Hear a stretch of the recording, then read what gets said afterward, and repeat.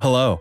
Today our topic is about 10 athletes who have achieved great feats in the area of bodybuilding. Some have had unfortunate endings by way of posing threat to their health. There are many articles that talk about the benefits of enhancers and quick gains with hormones, but its after effects are kept in the dark. These 10 athletes who have had close encounters with death will dissuade you from substance abuse. Arlindo Anomalia, also known as Arlindo de Souza. Arlindo is more commonly known by names such as The Mountain or Real Life Popeye in his hometown. Some find the latter to be adorable, but on encountering Anomalia, the results are less endearing. Words like grotesque can enter your mind. In Brazil, it was all the rage to bulk up your arms to such levels. It wasn't too long after Anomalia followed suit to regain repute as the Mountain it was a dangerous health hazard of bulking one's arms with a lethal duo of alcohol and oil. His 29-inch arms are undoubtedly the biggest in Brazil.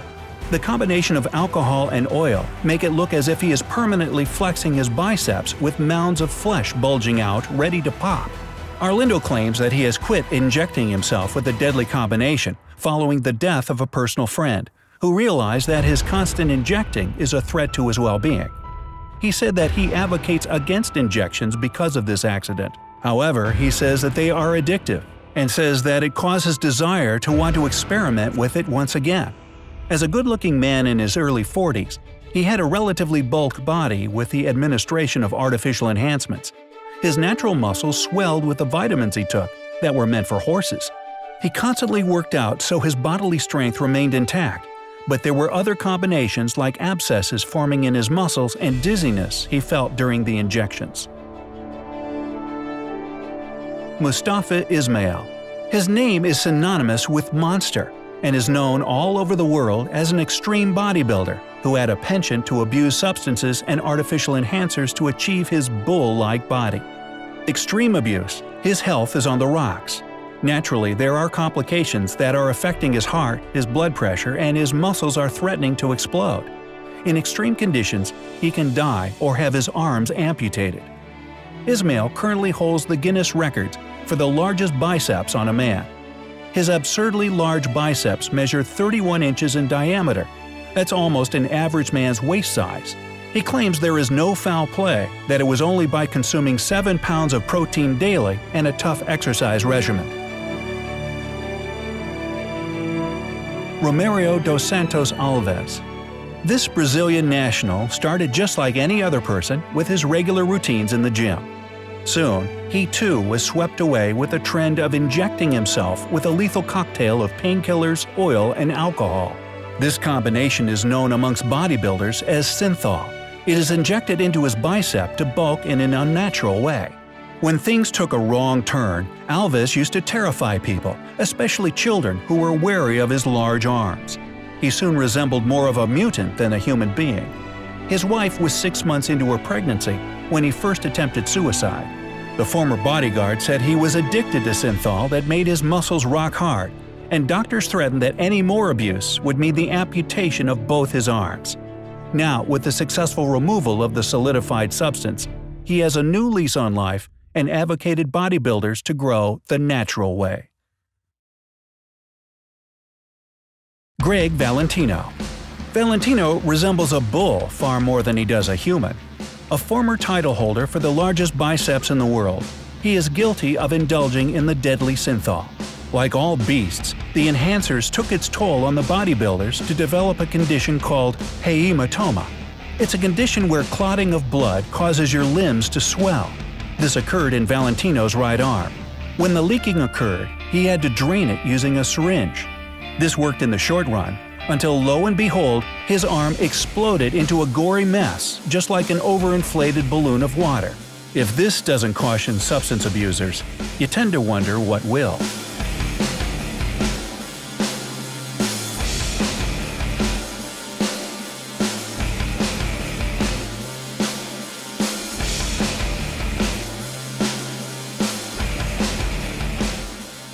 Klaus Doring. Doring resembled a massive boulder. He is hailed internationally as a god for his massive biceps and quads. It's obvious that he uses artificial enhancers to maintain his mutant-like frame. At the peak of his bodybuilding career, he would consume a shocking 10,000 calories daily. This has its toll before too long.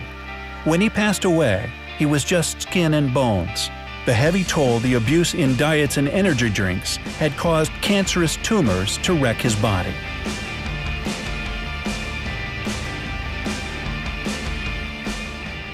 Monster from Egypt He gained his name for obvious reasons. He joined the field of bodybuilding in his early years out of a passion for the sport, and slowly lost his way due to fame and fortune. He began as a youngster by winning titles, and soon greed overtook him, and he began injecting himself with synthol, hormones, and enhancers. He vehemently denies this allegation, saying that he is all natural. But one thing's for sure there's nothing natural about the monster. Greg Kovacs Throughout the 90s until 2015, the name of Kovacs was known in the world of bodybuilding. First, it was because as a builder who whipped into shape just before the start of the IFBB seasons, and next, because of his astronomical weight gain in the off-season times. There were times he weighed as much as 400 pounds. Even in the world of bodybuilding, this is seen as an incredible gain. At the young age of 44, he succumbed to a heart failure a few years after he had retired. This should serve as a signal to young bodybuilders who aspire to become leaders in their forte, but should refrain from substance abuse and artificial enhancers that can threaten your life.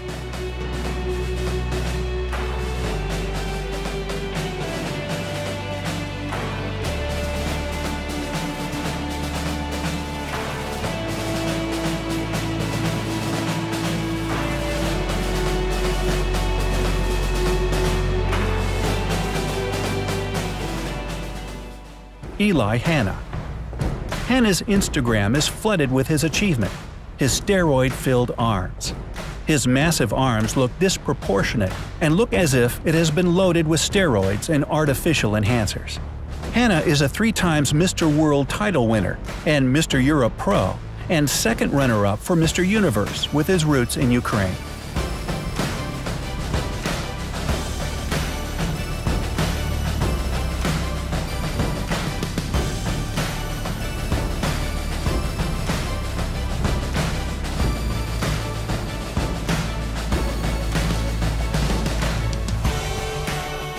Ernie Taylor.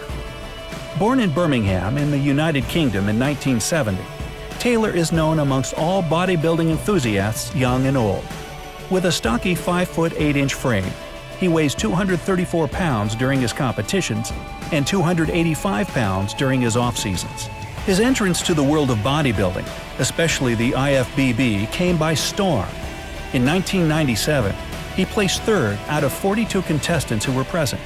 In the same year, he qualified to be in Mr. Olympia but declined the invitation. He idolizes Dorian Yates. There was a time when he was known for his psychotic tendencies in the gymnasium involving trainers. There was a suspicion that the reason why he had these episodes was the influx of enhancers and drugs that were wreaking havoc. In the last of the 2000s, there is a steady decline in Taylor's performances. Valdir Segato Segato is a bodybuilder who took the Hulk as his inspiration. He is better known as a bodybuilder who took the incredible risk of abusing his life with synthol to gain massive 23-inch arms. This beefcake bodybuilder, this staggering success was short-lived. There were repercussions from his usage dating back five years ago because of his one desire to look more like his idol, Arnold Schwarzenegger. His beginnings are humble. As a construction worker, his one need was to define his body. Once he started, there was no stopping him. With artificial enhancers, he has doubled the size of his biceps to a whopping 60 centimeters. As a youngster, Segato was a skinny child and was constantly the subject of amusement amongst his peers. There was one driving factor that led him to embark on this vicious journey, where he had near brushes with medical complications, including an amputation. An overdose of lethal steroids had him spend a few days in the hospital.